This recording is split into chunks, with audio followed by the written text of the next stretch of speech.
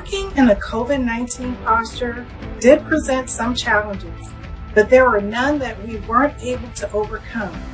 We continued to process requests from the ATO, such as the waiver we approved for the air show at Oshkosh. We actually sent an air traffic safety inspector there to observe some of the operations and then shared that information with the ATO, whose relationship we have been fostering during this time to build a more collaborative approach to oversight. And of course, we continue to monitor the activities that stem from our oversight engagement.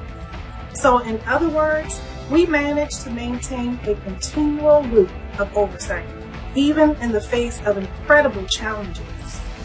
In this COVID-19 environment, we virtually brought a team together and conducted a thorough gap analysis of 11 of our QMS work instructions, including the surveillance process of which they support.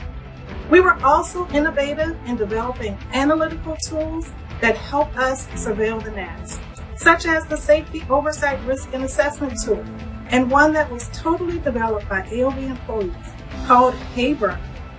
HeyBurner allows our inspectors to quickly analyze a number of air traffic operations across the NAS without having mandatory or electronic reporting to identify any potential risk.